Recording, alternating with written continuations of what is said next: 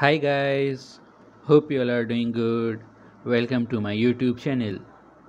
Today in this video, I am gonna share with you the details for the construction of water shootout and the stone pitching. Make sure you watch this video completely in order to better understand this concept. As you can see that we are using the Caterpillar Bobcat in order to do the cutting and backfilling of this laterite. We had to do this cutting and filling in order to make sure that we get a pro proper slope of stone pitching. Apart from stone pitching, we had to make sure that the water flows out through these concrete or curbstone shootouts. This is the reason why we had to use this bobcat. Here you can see that these curbstones have been placed and now we are going to construct a toe beam which would be connected with all these curbstone shootouts. The dimension of these toe beams have been maintained at 20 by 30 centimeters. It will help us to protect our stones or boulders.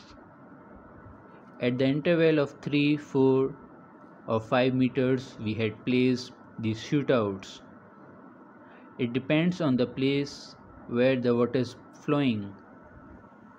As such you have to study the places where the water will flow out.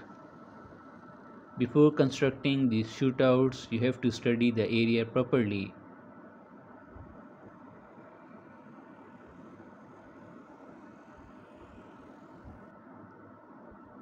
Here you can see that the boulders have been placed and now the stone pitching process has been started. Before placing these boulders we had to make cement with sharp sand and then these boulders had been placed. You can also see here that the toe beams have been provided at the end where the stones or boulders have been stopped. The total thickness of these stones or boulders have been maintained at 20 or 30 centimeters.